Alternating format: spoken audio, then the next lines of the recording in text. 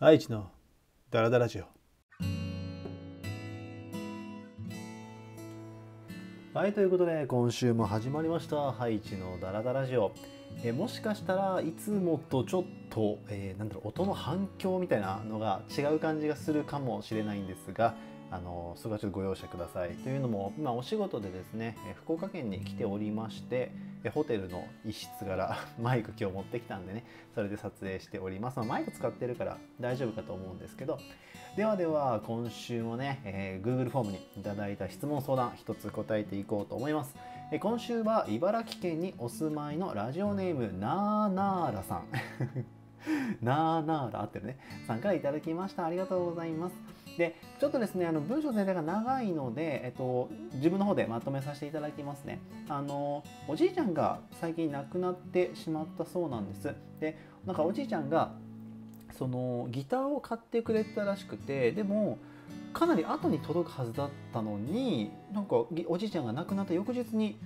なんか不思議と届いたと。そう。でだからなんか、まあ、そいろいろねそういうことがあって質問としてはハイチさんは不思議な縁みたいなものを感じたことはありますかという質問でしたね。で、えっと、これはですねこの文章を読んだ時に真っ先に思いついたのが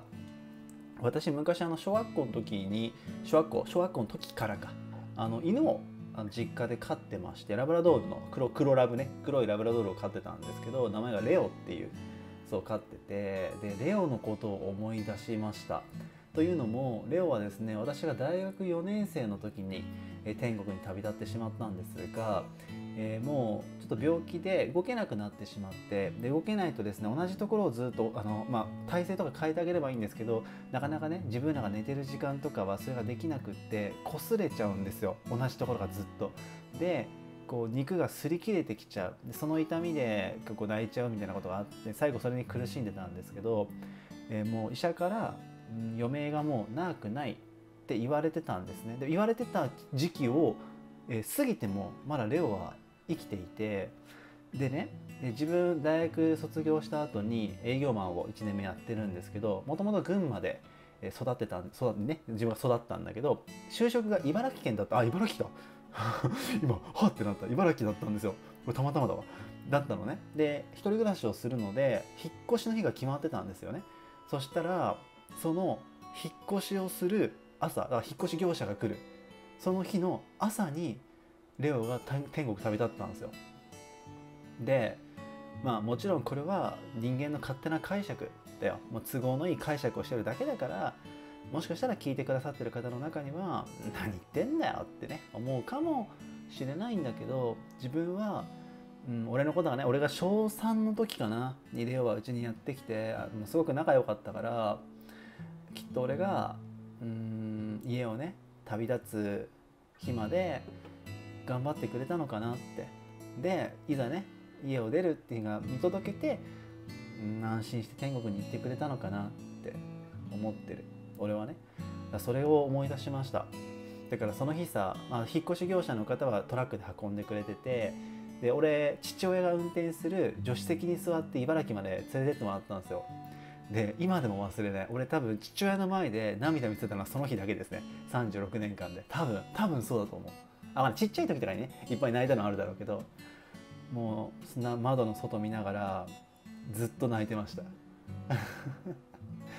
何とも言えないね。もっと可愛がってあげればよかったなっていう気持ちはすごくあったしでもありがとうっていう気持ちもあったしうんっていう話かな。それはやっぱり不思議な縁と言っていいかわからないけどもそれを思い出したよっていう話でございましたあのちょっと話取れちゃうけどあの後で後悔する何かしら後悔は残るとは思うんだけどみんなもね今聞いてくださってる皆さんも例えば身近な人、まあ、遠くに住んでる人でも構わないですけど例えば「ありがとう」とか「好き」とかなんかそういったポジティブな言葉恥ずかしいこっぱずかしい言葉とかは伝えられるものは伝えておいた方がいいよ。いつ伝えられなくなるかわからないからね。なんてことを思いました。ということでねなーならさん質問の方相談 そ質問相談の方ねありがとうございました、えー、来週もねえっ、ー、と一つ、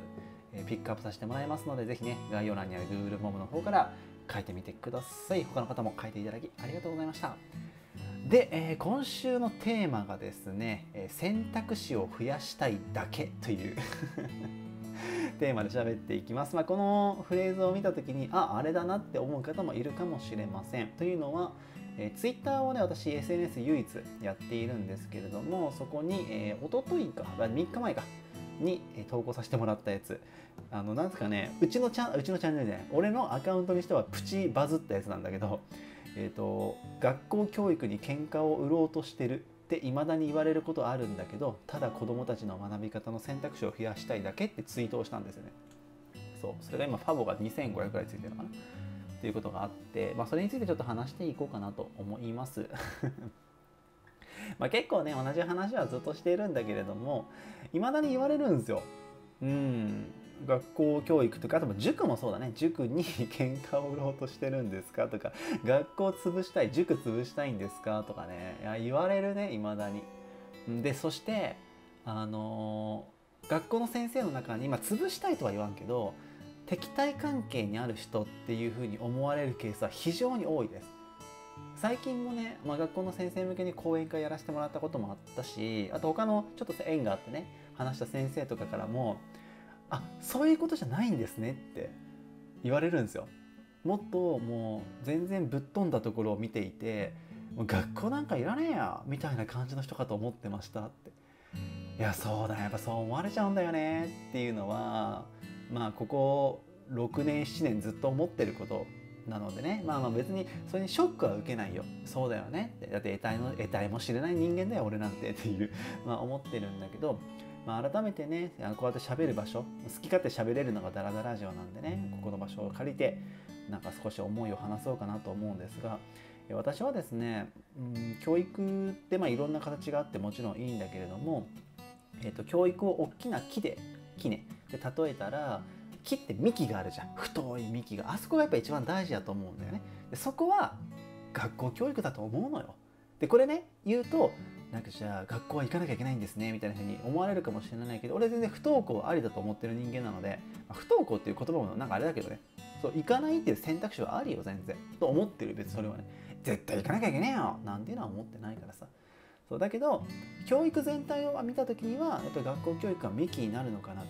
でそこから生えてる枝だったりとか、うん、幹を支えるさその根っこの部分もあるわけじゃん。ね、どっちでもいい別に。でもそういった幹を支えるため支えるというかそれをまあ枝を生やしてね木として彩るためかわからないけどもサポートツールよ。サポートのためにこういった俺がね、えー、YouTube でやってる教育みたいなのがあると思ってる。だからいつもサポートツールってことを絶対使うんだけど、主役にはならないってなれないよなっちゃダメだよっていう俺の教育はね。うん、だからさ俺ずっとさ目標として、うん、こういった YouTube で勉強できるまあ俺がフリーラーニングなんて言葉を勝手に言ってるんだけど無料でやっぱり教育ってお金かかるものってずっと言われるけど無料でもお金かけなくても勉強できるってちゃんとそれなりのコンテンツあるんだよって。その選択肢を日本で定着させるが俺の目標なの。選択肢。全員が使ってほしいじゃないよ。知ってもらった上でそれでも例えば塾がいいとか学校が好きだったらそれでいいじゃん。ね、だって別に選んでもらって100人がいて100人に合うものじゃないんだって。そんなものないんだから。でもさやっぱ今でもいただくコメントで悔しく思うのはもっと早く知りたかったですって。これもずっと思ってる。これが多分一番悔しい。俺がもっともっと頑張って外にオープンに出てってその子に早く届けられたらそういうふうに思わなかったかもしれないんでしょ、うん、だからとにかく知ってもらう。そして正しく知ってもらう。食わず嫌いじゃない。だから YouTube だったら水嫌いだよね。みんな見ることなくどうせ YouTuber の授業なんて大したことないんでしょ？じゃなくって一回見てもらってあれ？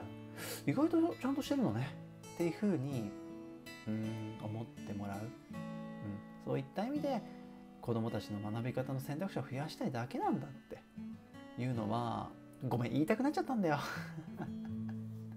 まあでもそれが言いたかったってだけなんだけどね。でさごめん、えっと、本当は今週ねあの俺今国内さっきあの福岡に来てるって言ったんですけど新幹線高崎あ群馬のね高崎から俺乗るんですけど高崎から新幹線で7時間弱乗るんですよ。長いんですよ。遠いんでね。で俺新幹線で仕事でね新幹線乗る時ってよく外を見るんです。窓側の席を絶対取るんですけど窓の外を見るのが好きで見てるんですよ。でそこはね一応理由があっていつも思うこと一緒なの。あ空が綺麗だなとか思うよ。それは思うんだけどあの住宅街とかさ別にまあすごい山の中でねあの田舎で家がポツポツしかないとこでも同じ。住宅をね見てここにはいろんな子供たちがいるんだよなっていつも思うんですいろんな子供たちがいる。まだまだ自分のことを知らない人たちがこんなにたくさんいるんだぞ俺って思うんですだからもっともっとまず知ってもらえよって。それがねどういう形を今はね俺は意図的にちょっとメディアテレビとか取材とかね受けてそういうラジオとか出たねそういうメディアを使ってちょっと知ってもらうっていう作戦に出てるんだけどもまあどういった形かわからんけどとにかく知ってもらえ配置と、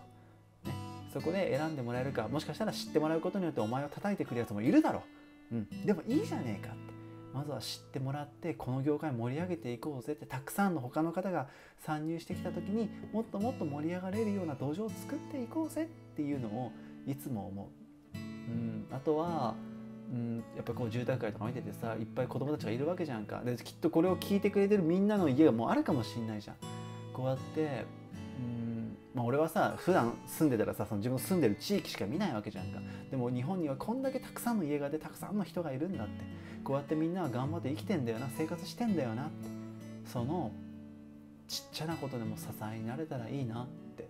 いうのをすごく改めていつも思う。新幹線乗ってる時。になんか兜の尾を締め直すじゃないけど。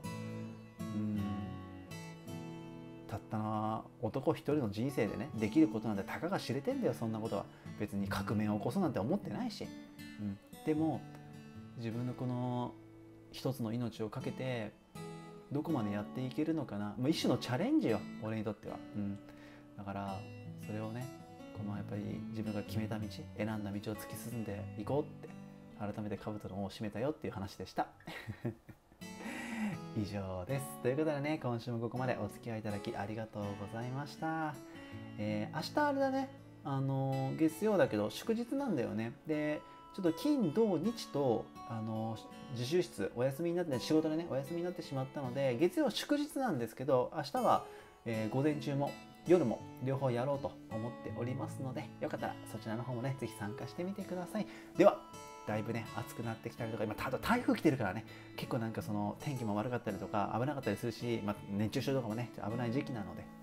皆さん体調に気をつけつつ明日からまた1週間お互いねいい1週間にしていきましょう。それじゃまた来週のダラダラジオでお会いできたら嬉しいです。今週のダラダラジオは以上です。それじゃまたね。バイバイ。